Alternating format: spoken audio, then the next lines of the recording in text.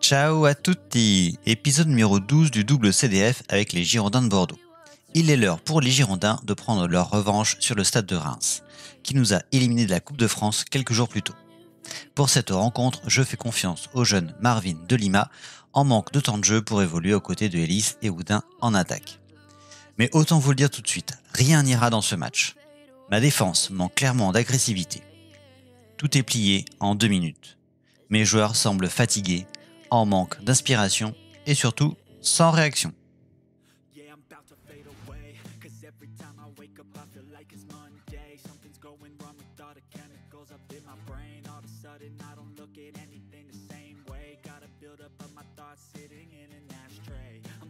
C'est un peu la déception pour mes hommes qui s'inclinent une seconde fois cette semaine face à un adversaire que nous avions su dominer à l'aller. Nous nous sommes ensuite rattrapés en battant Lens au Stade Bollard, mais nous avons de nouveau sombré contre le Paris FC. De quoi m'occuper l'esprit et me poser des questions sur ma charnière centrale principalement. Bien sûr, je suis en avance sur les objectifs du conseil d'administration, mais honnêtement, connaissant mes joueurs, j'espère mieux pour mon équipe. Pour l'instant, je ne veux pas tirer de conclusions hâtives et laisserai donc intacte ma défense, mais j'essaierai demain Ismaël Garbi en attaque. Je dois motiver mes gars en leur rappelant que Lille est juste devant nous au classement, sans leur mettre la pression.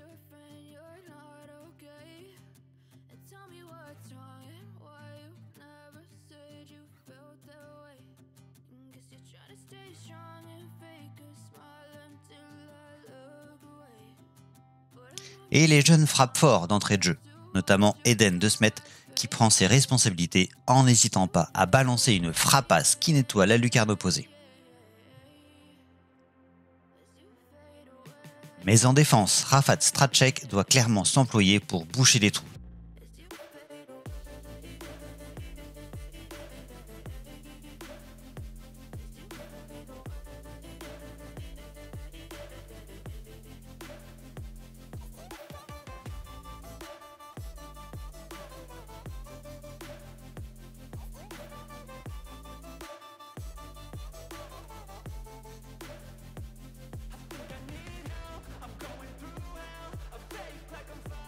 Et il se voit contraint de s'incliner sur un tir de Bayo.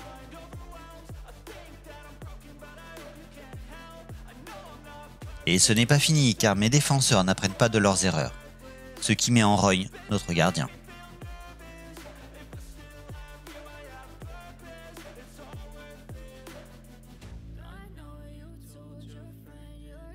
Et Bayo, décidément trop libre, martyrise les gants de Rafat, qui tient le choc malgré tout. Et que dire du numéro de Albert Ellis qui nous permet de décrocher une victoire miraculeuse Mes joueurs gagnent la bataille des poursuivants et réalisent la bonne opération du jour en recollant au LOSC. Dylan De Vries revient de France avec le jeune défenseur Achille Blanchard dans ses valises qui pousse Henri Lejeune vers la sortie tandis que Michel Clays me propose Enzo Simons, un Belge de 16 ans. Mais pas le temps de m'y attarder, car la Ligue 1 continue avec la réception de Strasbourg pour cette 28e journée. Toujours autant de doutes sur ma charnière centrale.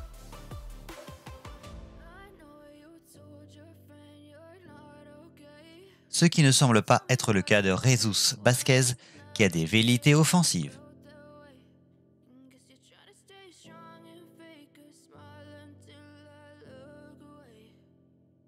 Albert Ellis montre son intelligence de jeu en décalant David Ashvili qui ne se prive pas de briller, comme pour montrer aux jeunes qu'il n'est pas prêt à laisser sa place.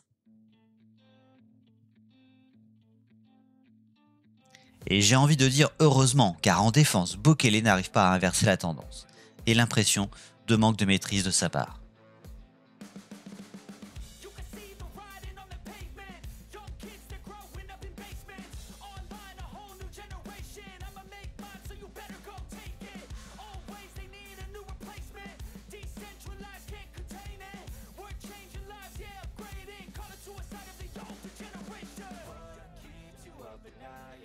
Alors qu'en attaque, De Smet et Ellis régalent par leur créativité et leur instantanéité,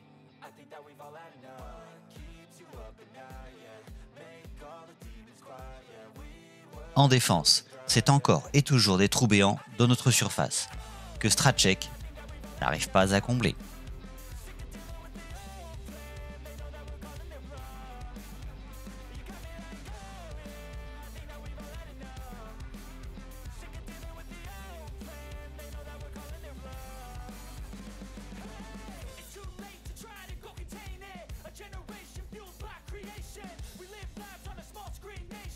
L'opposition semble tourner à l'avantage des Strasbourgeois, qui contre mieux nos offensives et qui s'infiltrent facilement derrière notre ligne défensive. Ce match est un martyr pour nos nerfs chaque fois que les Alsaciens s'approchent de notre cage.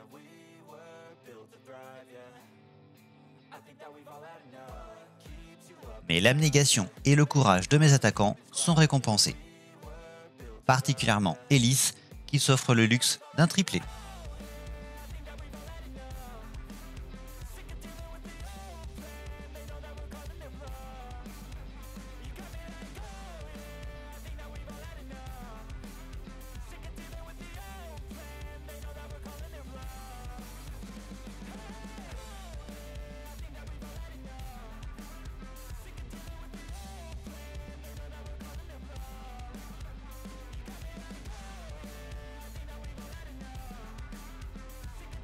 Mais Malcolm Bokele est décidément à la rue et n'empêche pas le quatrième but strasbourgeois, synonyme d'égalisation.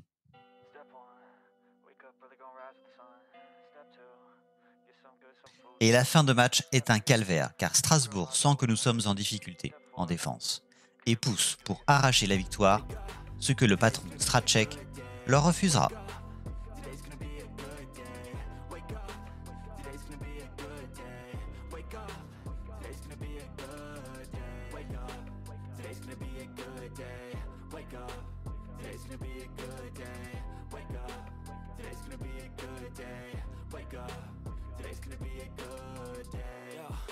Your affirmations, aspirations. I got shit to do, aftermath of preparation.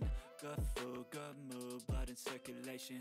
One step at a time, yeah, that's how you make it. Set a goal you control and the steps you take them. I try to pick one thought, have some concentration. And if I make a mistake, it's called education. I try to do this every day, call it. Les supporters restent frustrés, à juste titre, tout comme moi d'ailleurs, malgré la domination de Ellis car les erreurs défensives ont coûté très cher lors de ce match nul concédé face au Racing Club de Strasbourg. Cela faisait quelques matchs que j'hésitais, mais cette fois-ci ma décision est prise. Malcolm Bokele va devoir laisser sa place au jeune français Alexis Denis, en qui je fonde un immense espoir.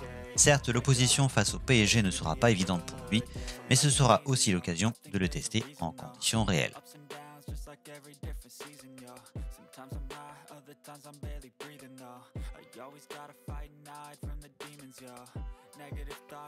Et le début de match me donne un peu peur, mais Stracek et les gars tiennent bon.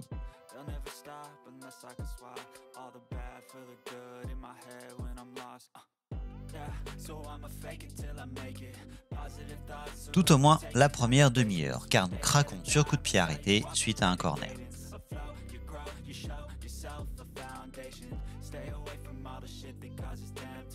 Les joueurs se décident enfin à jouer et Albert Ellis, trouvé en profondeur, trompe Gianluigi Donnarumma.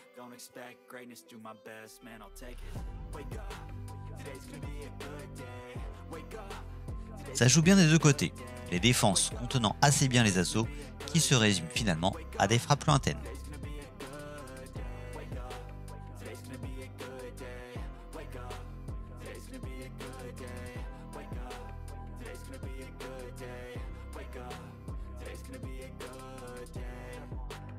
À ma grande surprise, ce n'est pas Kylian Mbappé le Parisien le plus dangereux, mais bien Carlos Soler qui multiplie les occasions.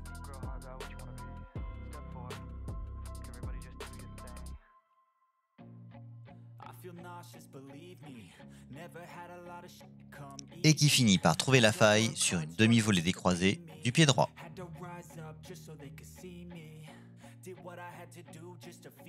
Cet avantage booste l'envie des Parisiens d'enfoncer le clou. The things you gotta work for, believe me.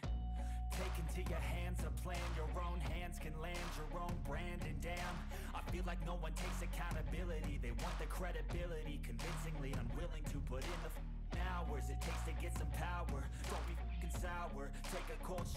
Mais les Bordelais n'abdiquent pas à l'image de Ismaël Garbi qui n'est pas loin d'égaliser sur cette frappe croisée.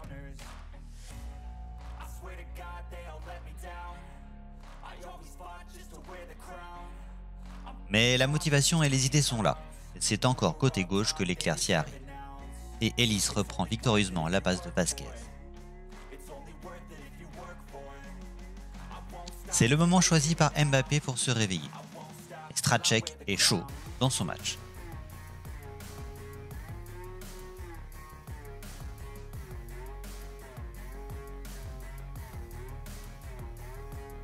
Et les Parisiens s'agacent de nous avoir laissé revenir au score.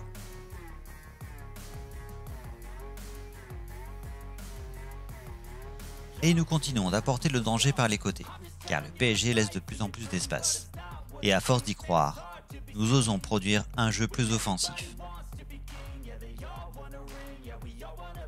Et Ellis, se retrouvant en position de tir, préfère transmettre le ballon à Rémi Houdin, absolument seul, qui n'a plus qu'à pousser le ballon dans le but adverse.